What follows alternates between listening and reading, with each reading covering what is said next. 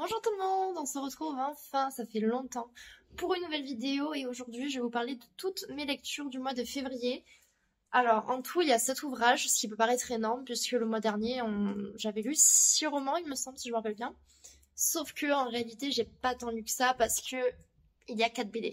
Donc on va commencer sans plus tarder, je vais d'abord vous parler des romans et ensuite des BD comme ça si jamais bon les BD voilà ça vous intéresse pas vous pourrez directement quitter la vidéo plutôt que de faire petit à petit par ordre chronologique. Je vais séparer par rapport aux catégories. Donc on commence avec le premier roman. Il s'agit du Château solitaire dans le miroir de Tsujimura Mitsuki aux éditions Milan.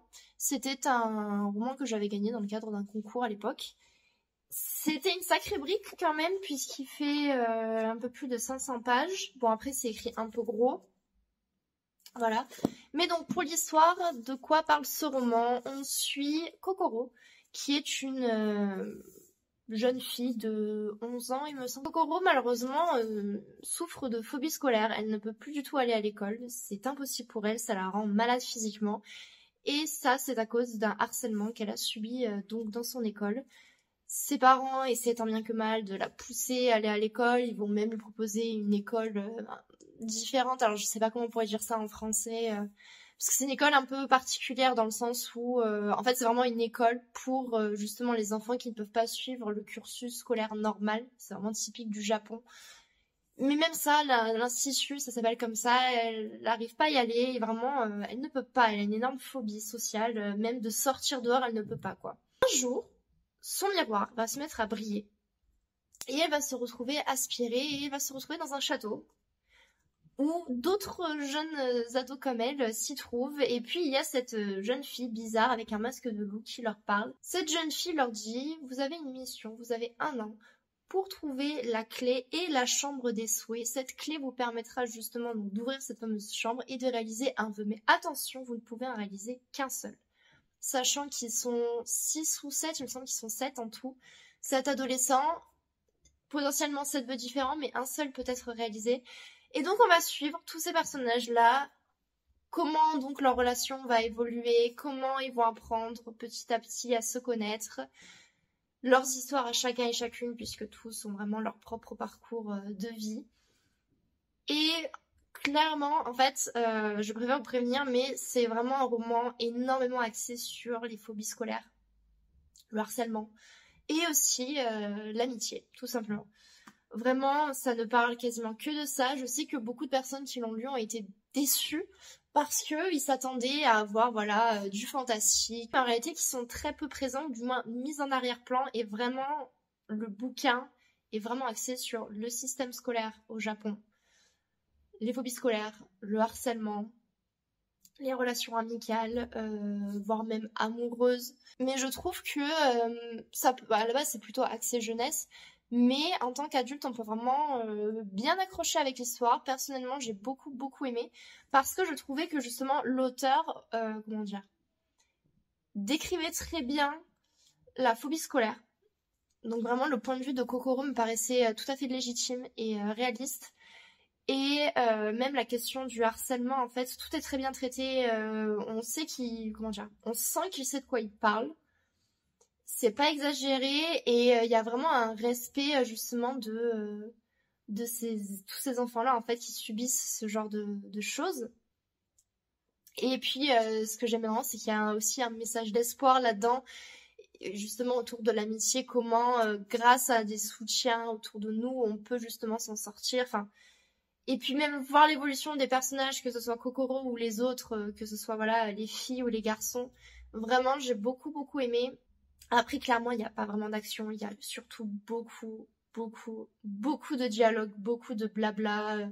Il se passe pas grand chose en termes d'action, vraiment. Si vous voulez quelque chose qui bouge un peu, euh, de du, ah, du fantastique, enfin, vous faites fausse route, vous n'aurez pas du tout de ça. Là, c'est vraiment euh, beaucoup de dialogue, beaucoup d'échanges entre les personnages, où petit à petit, on découvre leur histoire à chacun et chacune, même Kokoro, il y a des choses qu'on découvre petit à petit.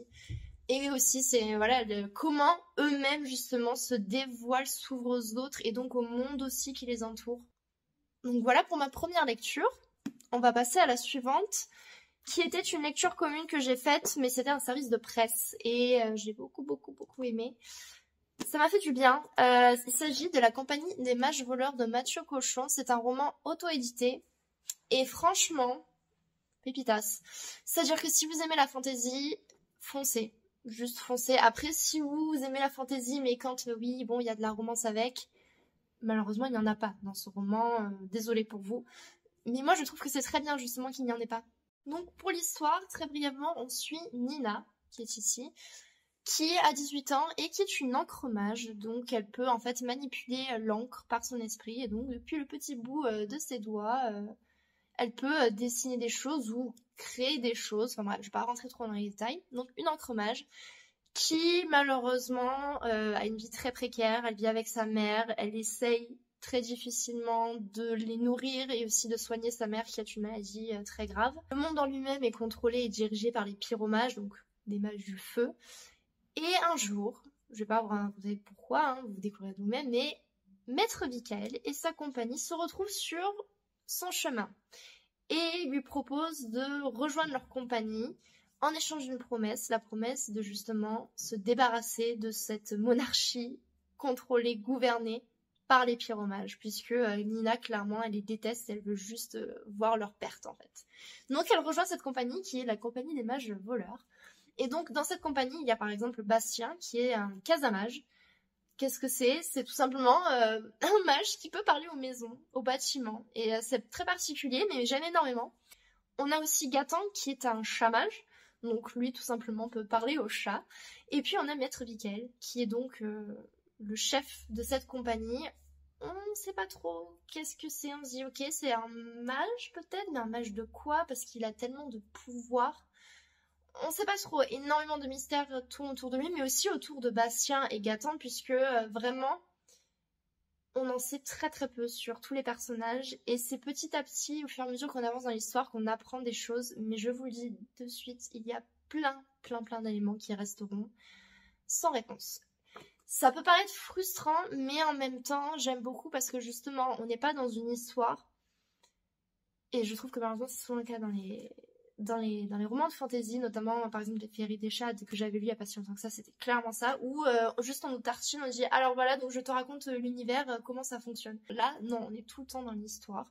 Et les éléments, on va dire, du lore viennent naturellement. Mais sinon, j'ai adoré parce que pareil, on n'a pas de romance. Donc là, je vous dis, on est vraiment que dans la fantasy pure et dure. On a notre compagnie, notre équipe, notre troupe qui a une quête et qui, pour en gros réussir cette quête-là, doit réaliser des sous-quêtes.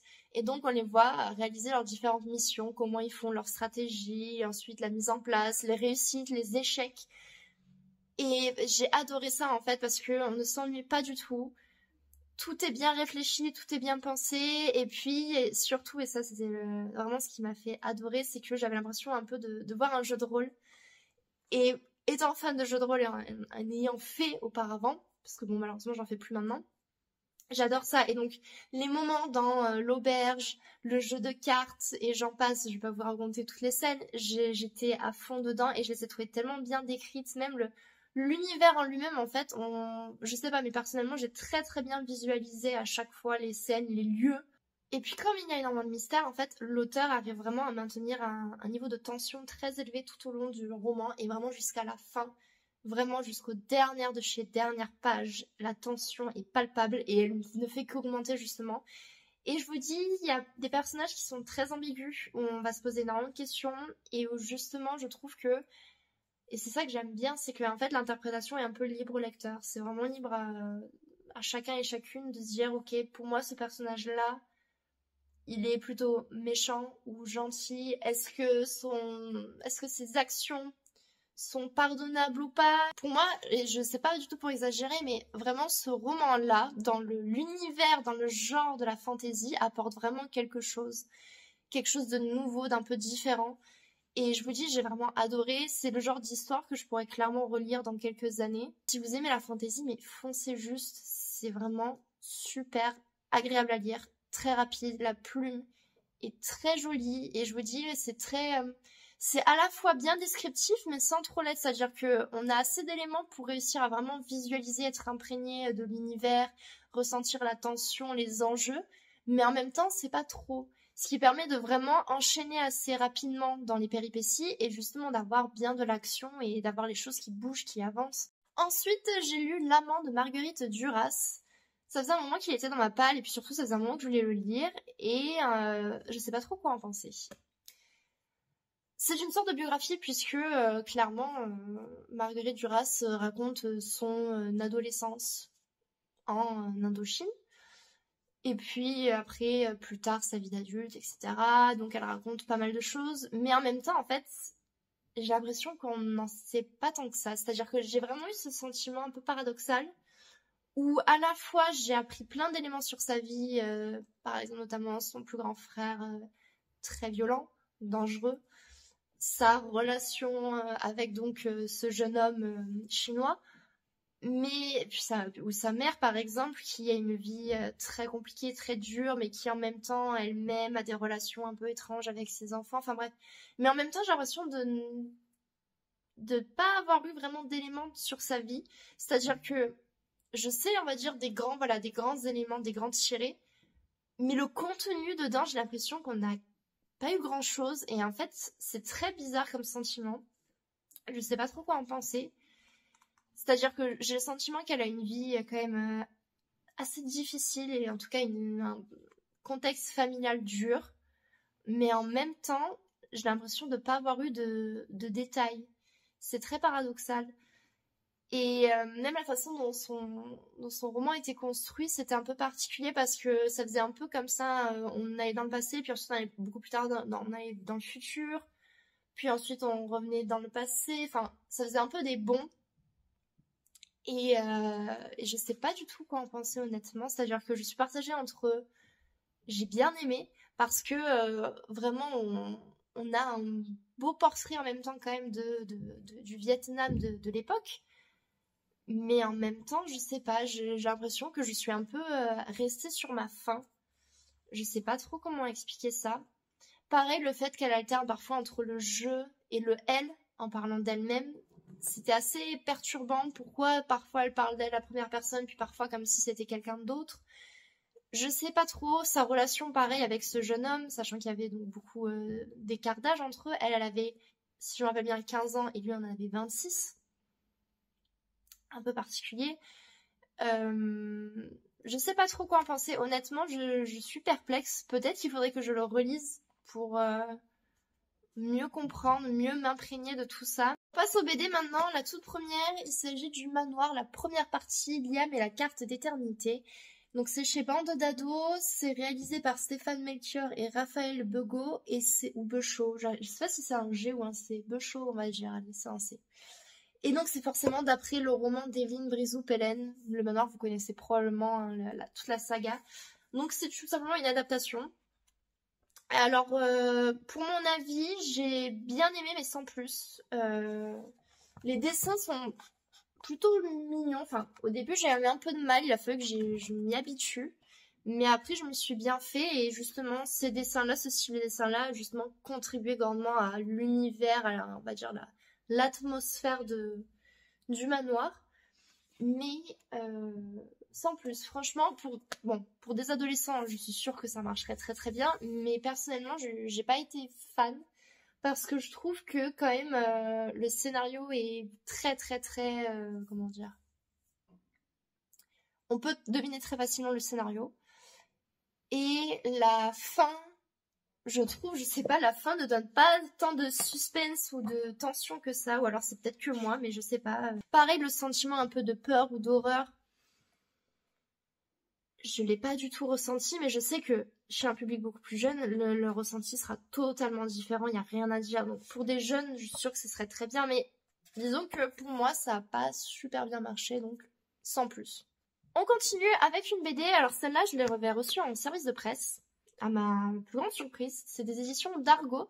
Il s'agit du premier tome de Fille unique. Donc celui-là s'intitule Paloma et c'est fait par Becca et Camille Méhu. J'ai aussi le tome 5 en physique, mais les autres tomes, je les ai pas en physique, je les ai en PDF, donc au pire, je les lirai en, PDF.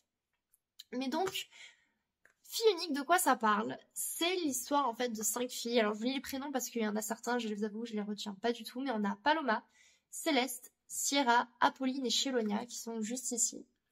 Et en fait, toutes sont un peu des rejetées, on va dire. C'est-à-dire que dans le lycée, elles ont pas vraiment d'amis, voire pas du tout. Pour différentes raisons. Et Shelonia, qui est la brune juste ici, va décider de les réunir et de dire les filles, et si on crée le club des malbarrés? Et donc toutes sont plutôt partantes, sauf Paloma qui ne veut pas du tout. Et donc tout ce tome 1 va être autour de Paloma.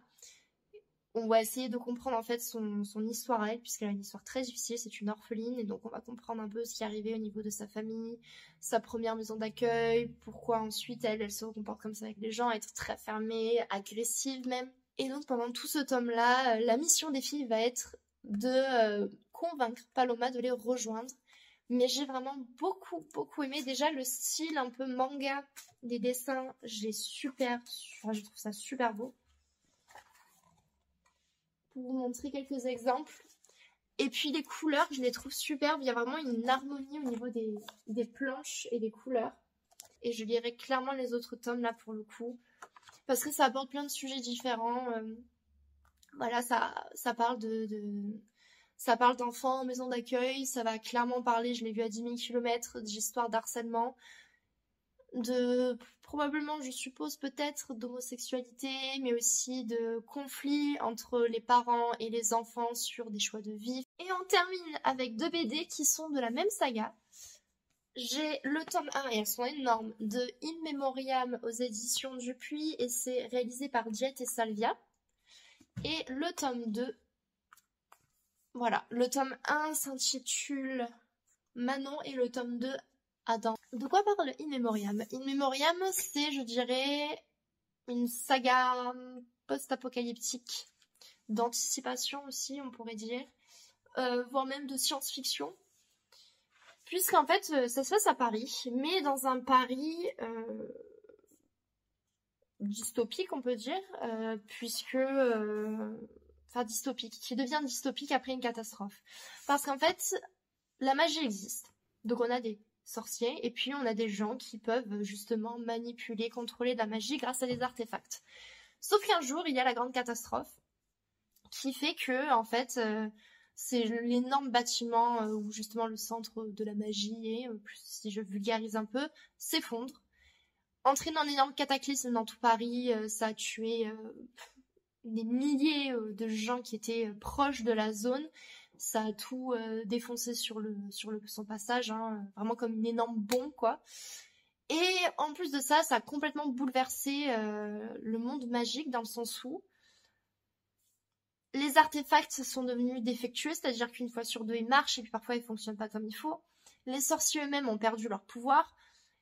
Et donc euh, voilà, on a maintenant un Paris euh, très dystopique avec euh, des criminels qui utilisent illégalement des artefacts, donc de la magie. Et donc pourquoi je vous parle de tout ça? Parce qu'on a Manon, qui est l'héroïne, qui est une flic, qui bon est à la base en couple avec une autre femme dont j'ai complètement oublié le prénom. Et juste avant le cataclysme, elles étaient dans le bâtiment en question parce qu'elles avaient en gros demandé de l'aide pour justement tomber enceinte, pour que la, compagne de Manon tombe enceinte pour qu'elles aient un enfant toutes les deux. Sauf qu'il y a eu le cataclysme qui fait que euh, sa copine qui avait réussi à tomber enceinte a perdu l'enfant. Suite à ça, leur relation a un peu changé et puis il va se passer en fait des choses très très très étranges. Je vais pas en dire trop, mais il y a une enfant qui est recherchée par des criminels qui semble pouvoir maîtriser la magie, ce qui est très étrange. Et donc, il va y avoir toute une enquête qui va se mener. Il va aussi y avoir des poursuites, puisque ces deux psychopathes euh, sont prêts à tout pour retrouver cette fameuse jeune fille. Ils sont prêts à tuer des gens.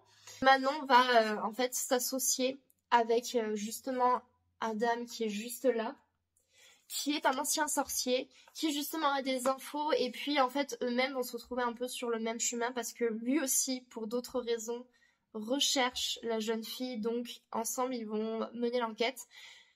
Je pense que la saga n'est absolument pas finie puisque euh, vu comme le tome 2 se termine, il faut une suite, c'est clair et net. Je sais pas combien de tomes il y aura parce qu'à l'heure actuelle, euh, il n'y a que ces deux tomes-là qui sont sortis. Mais j'ai bien aimé, même si j'ai trouvé le tome 2 euh, peut-être, comment dire, pas plus lent, mais qui manquait un peu plus d'action, en tout cas, ou, dans le sens... Euh, au niveau du scénario, ça n'avançait pas aussi vite que dans le tome 1, par exemple. Mais sinon, j'ai bien aimé. Le style des dessins est plutôt, euh, plutôt agréable. J'aime bien. C'est un peu gore par moment. Enfin, moi, je trouve que c'est pas si gore que ça. Mais je sais que pour certains, ça pourrait être vraiment considéré comme gore. Ça pourrait euh, choquer. C'était donc tout pour cette euh, vidéo, j'espère que ça vous aura plu. N'hésitez pas dans les commentaires à réagir et à me dire si justement vous avez lu ou pas certains de ces romans ou BD, ce que vous en avez pensé, si certains vous tentent ou pas. N'hésitez pas en tout cas à liker la vidéo si elle vous a plu et à vous abonner à ma chaîne si ce n'est pas encore fait. On se retrouve très bientôt pour une autre vidéo. En attendant, portez-vous bien et à très bientôt.